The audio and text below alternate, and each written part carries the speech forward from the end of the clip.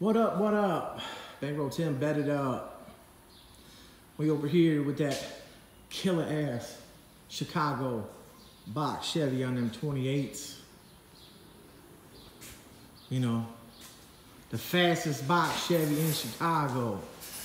Nobody wanna pull up. What's up with that?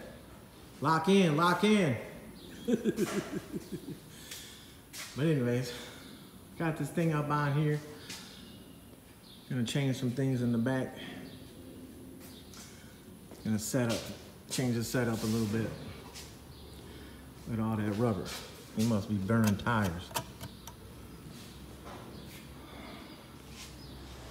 Yeah. It's the one you are thinking. But anyways, I slide this in one in real fast. Gonna change some shit up on it. The Monte Carlo sitting outside. I got the front almost aligned. The rotors came in for it, and I'll tell you what I'm talking about with the rotors. But yep, that's that killer Chicago box Chevy right here on them 28 inch Vellanos. Nobody wanna pull up.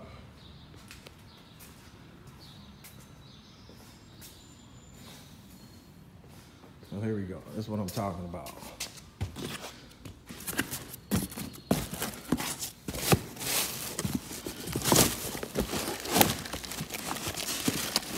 Just the basic G-body, wheels and rotors.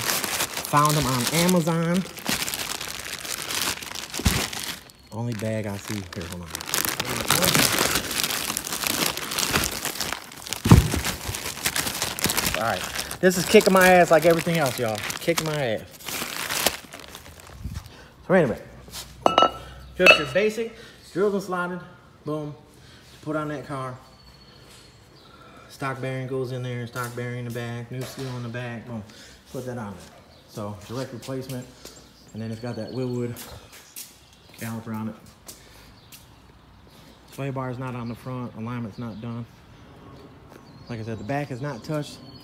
The back has uh, air shocks on it, and when it was up on the lift, I aired them all the way up, 110 pounds.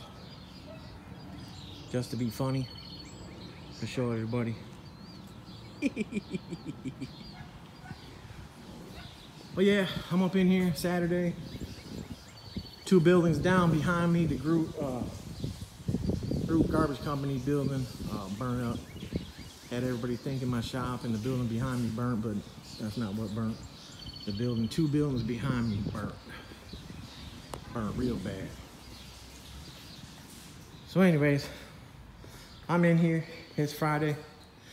Fixing to cut out some things in the back of this.